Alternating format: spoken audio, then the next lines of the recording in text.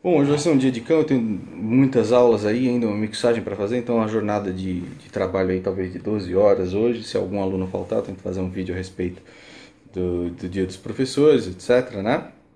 O que a gente vai fazer é o seguinte, vamos pegar o shape que parte da pentatônica menor,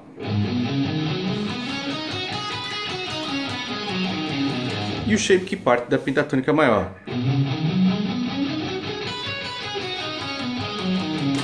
Você deve estar familiarizado com esses dois shapes. O que a gente vai fazer é o seguinte: vai pegar as duas notas de baixo do shape que parte da menor, e com a mão direita vai tocar a nota que parte do shape da maior.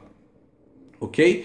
E aí o que a gente vai fazer é tocar o tapping e colocar o tapping no mesmo lugar onde a gente largou o dedo, ó.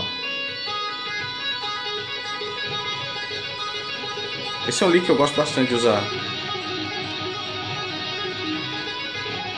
Certo?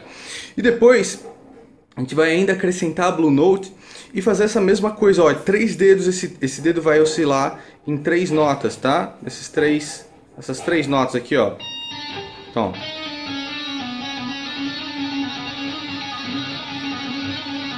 Ficou um efeito bem legal, né? Eu gosto. E você vai poder usar em qualquer música como lick de improviso, né? Então, ó.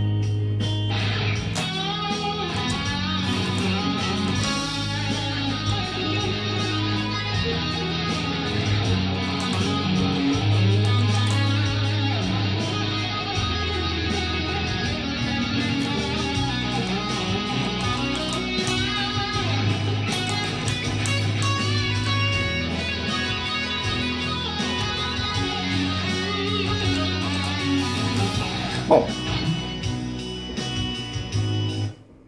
ainda é bem cedo, tá? Então ainda não aqueci, desculpa a mão fria aí, tá?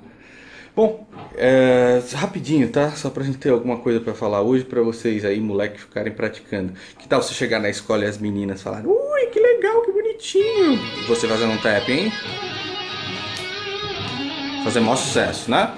Então é isso aí, cara. Não posso perder muito tempo hoje. Se faltar algum aluno, faço o vídeo dos professores.